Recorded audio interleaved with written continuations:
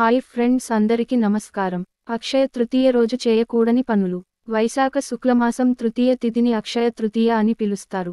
ఆ రోజు బంగారం వెండి ఇల్లు వాహనాలు కొనుగోలు చేస్తే లాభం కలుగుతుందని అందరి నమ్మకం అందుకే అక్షయ తృతీయ రోజున మార్కెట్ కళకళలాడుతుంటుంది.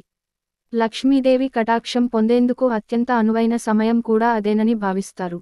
ఆ రోజు ఏ చిన్న పొరపాట్లు చేసినా లక్ష్మీదేవి ఆగ్రహానికి గురికావలసి ఉంటుందని జ్యోతిష్య పండితులు చెబుతున్నారు. అక్షయ తృతీయ రోజు చేసే పనుల్ని బట్టి ఫలితం లభిస్తుంది. అలాగే పొరపాట్లు చేయకూడదని హెచ్చరిస్తున్నారు. ఈ ఏడాది ఏప్రిల్ ఇరవై రెండో తేదీన అక్షయ తృతీయ ఉంది. చేయకూడని పనులు. అక్షయ తృతీయ రోజు ప్లాస్టిక్ అల్యూమినియం కంచు స్టీల్ సామాన్లు కొనకూడదు. ఈ వస్తువులపై రాహువు ప్రభావం ఉంటుంది. ఇంట్లో ప్రతికూల వాతావరణం పెరిగి ఆర్థిక కష్టాలకు కారణమవుతుంది.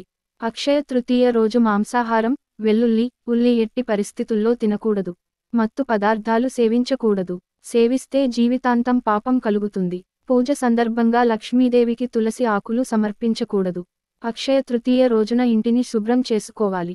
పూజా మందిరం ధనం నిల్వ ఉంచే ప్రాంతాన్ని శుభ్రం చేయడంతో పాటు విష్ణు భగవానుడిని లక్ష్మీదేవిని పూజించాలి. ఈ ప్రదేశాలు శుభ్రంగా లేకపోతే లక్ష్మీదేవి దూరమవుతుంది. అక్షయ తృతీయ రోజు ధనహాని శుభశకునం కాదు. బంగారు వెండి ఆభరణాలు పోగొట్టుకోకూడదు. అందరూ అప్రమత్తంగా ఉండాలి. ఎవరికీ డబ్బులు అప్పుగా ఇవ్వకూడదు. ఎవరి దగ్గర అప్పు తీసుకోకూడదు. అక్షయ తృతీయ రోజు అబద్ధం ఆడకూడదు. దొంగతనానికి దూరంగా ఉండాలి.